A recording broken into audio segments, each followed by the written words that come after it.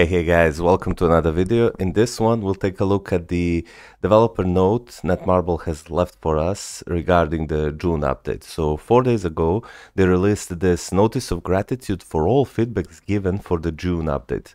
They say, Greetings agents, this is CM Fragment of Marvel Future Fight. We would like to give our thanks to agents who provided feedback regarding the June update. All feedbacks are currently under internal review, and we aim to provide further guidance through the development team let letter by the by next week. Thank you. So what this basically translate is translates to is uh, not many of our agents have shelled out 40 bucks in the absolute cesspool we call the June update and the Multiverse Saga new game mode, quote unquote. All feedbacks are currently under an internal review, uh, so this means that uh, we are that they're investigating why not many people have shelled out 40 bucks, and they aim to provide further steps how they can make players buy this obscene game mode they call Multiverse Saga. Then Four days later, or sorry, three days later, they released developer's note on the June update. Greetings agents, this is development team of Marvel Future Fight. First, we would like to thank all our agents who shelled out 40 bucks for the journey of Fantastic Four family and the Marvel Future Fight, along with those agents who have provided their valuable opinions so that we can make this new game mode more enjoyable. We initially prepared this pay-to-win Multiverse Saga app game mode in this update, hoping that many agents will shell out 40 bucks to play as Fantastic Four heroes and their interesting story, where the, you skip all the cutscenes and that you fight Doctor Doom. However, it seems that we did not fully meet the financial financial expectations either for a long-term agents or newest agents. For this, we apologize. So they're basically sorry that uh, they overpriced this new game mode and that they didn't make enough money as they thought they would make. We're planning to make following improvements to the Multiverse Saga game mode. More details will be available in separate notice, but our, Im our immediate plans are as it follows. So before we start reading what they're improving, this is a note for all of you to take. Whenever you're unhappy with a game mode, with an update, or a game in general, not Marvel Future Fight, but any game in general, just vote with your wallet. They don't care if you post feedback on the forums. They do read it, but the number one thing they do is they look how much money did they make. So whenever you're unhappy, just don't spend any money, and they will get a hint, like they did in this June update. So what improvements are they making? Let's check it out. So first, Multiverse Saga Day of Dooms Plus Pack. To lessen the inconvenience, they're, they're so slick, of being able to enjoy the new content only through purchase, we will provide an additional product for Multiverse Saga Day of Dooms that can be acquired through Crystal Purchase. So this is amazing. They're actually making it so that we can day, uh, that we can buy Day of Dooms with the crystals and not just uh, real money. And in addition, they will provide more crystals for the current package to increase its benefits. They're, as of today, they're only giving us 1,000 crystals, Franklin Richards, and the CTP selector, which includes the CTP of Conquest. So this is the only thing we're getting, apart from, of course, the deluxe mission where you fight Doctor Doom and get more artifacts uh, in the current package. So they will increase the number of crystals we are getting, and they will also distribute the additional crystals to the agents, who like myself, who shelled out 40 bucks for this obscene update. We are planning to develop, test, and add this product to the update that will be released at the end of July. Wow. So to add the button to buy the Multiverse Saga Day of Dooms with the crystals, you have to you just have to wait one and a half month. So I'm really not happy with this. This should be at the latest released by the end of June, not July.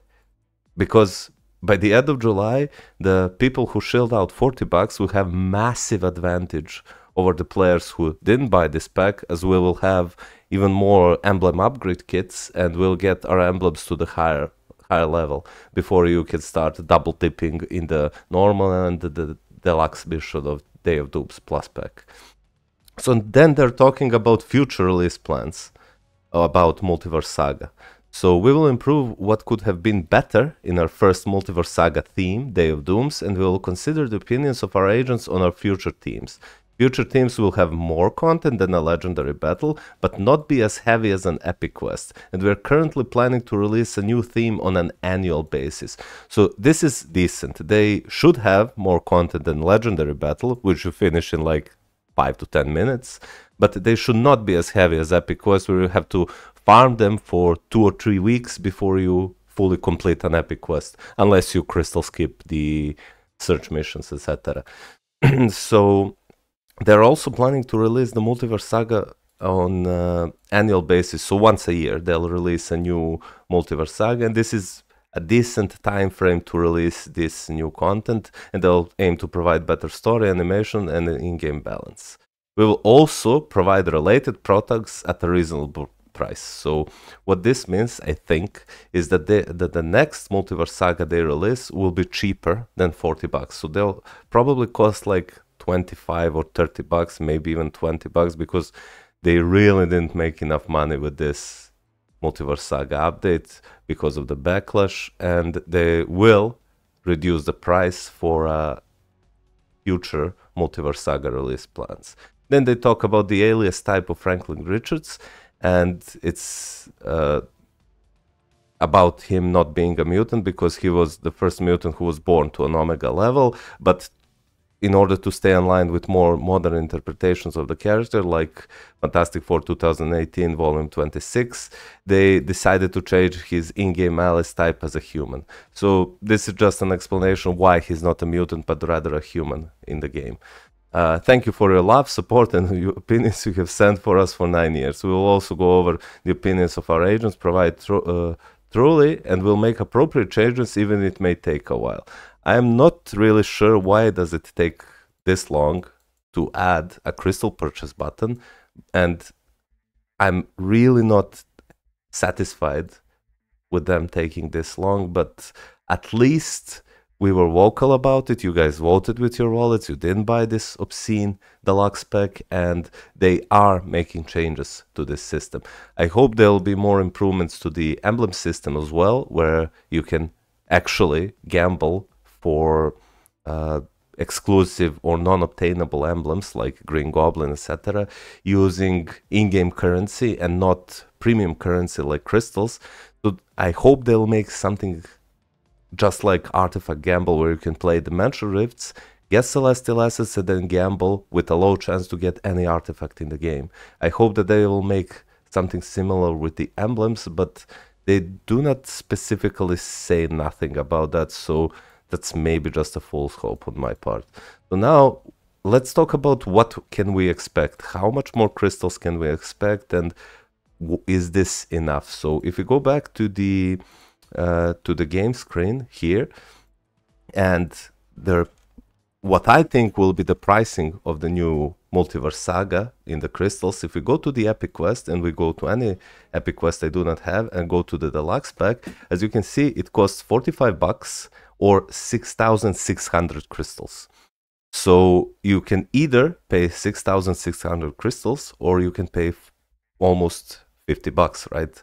So I said 45 bucks, but it's 50 bucks. So now, uh, if we use this as a baseline comparison and we see that they value 50 bucks at around the same as 6,600 crystals, if they charged Multiverse Saga for 40 bucks, so 10, 10 bucks cheaper, we can honestly expect that the deluxe pack for Multiverse Saga will cost around 5,000 or 5,500 crystals. This is just something that's real if we look, or this is just me being real.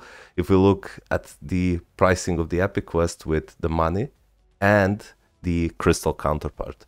So what you can expect, in my opinion, and I hope I'm wrong that it will cost like 4,000 crystals. Uh, I think that they'll price the uh, Multiverse Saga with for around 5,000 crystals, and then you'll get a thousand crystals back, or maybe if they add an additional crystals like 500 or 1,000 crystals, you'll get 2,000 crystals back. So you'll get so the full price when you deduct the crystals they're giving you back will be around I think 3,000 or 3,500 crystals. And for that, you'll get an additional mission, you'll get Franklin Richards, and you'll get a CTP selector.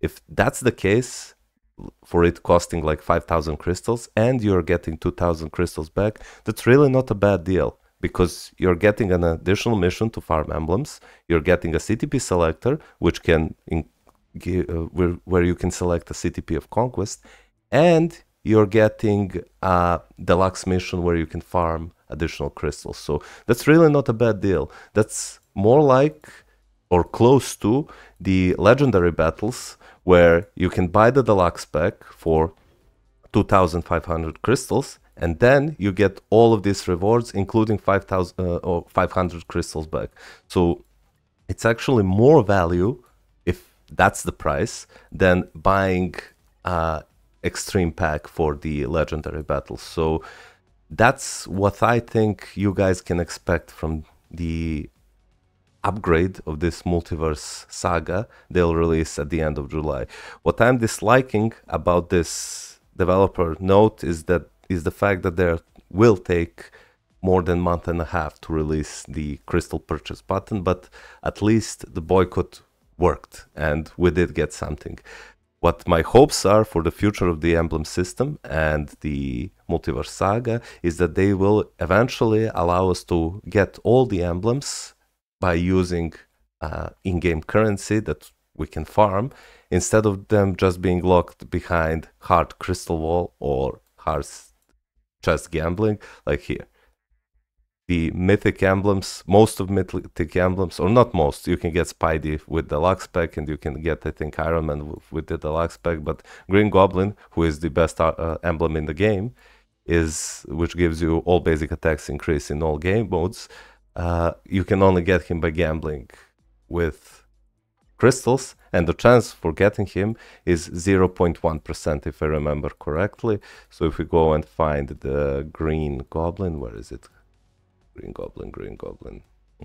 Oh, no, no, no, no. Ooh, ooh, ooh. Did I miss him? Pepper Potts, chasm, laser, green. Yep, 0.12%. So that's my hopes for this update, but hey, we guys did it. I know that there were some content creators who say that the emblem system is not as bad and that the deluxe pack for 40 bucks was worth it. I genuinely disagreed and I will always give my honest opinion about new game modes and the updates to you guys because I think you guys deserve it to hear my opinion, which I'm not saying that it's always correct, but I will voice my opinion to you guys and be honest as possible and not try to hype up the update that I think is simply not good. So that's all I wanted to say about this video and before I finish, at 400 subscribers I'll do another or Marvel account, Marvel Future Fight account reviews and roasts. So if you want a chance to participate in that, you can subscribe and leave your comment down below and maybe you get selected for the next account review and roast videos. So if you need any help with your accounts, keep in mind you can always join the Discord and ask me something there or ask me in the comments down below and I'll try my best to help you. Uh, with that, this video is over and I'll see you guys next time. Take care.